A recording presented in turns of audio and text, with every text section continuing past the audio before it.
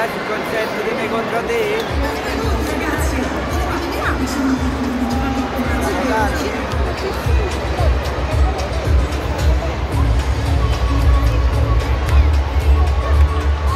che il compleanno di 10 anni compleanno importantissimissimo bisogna festeggiare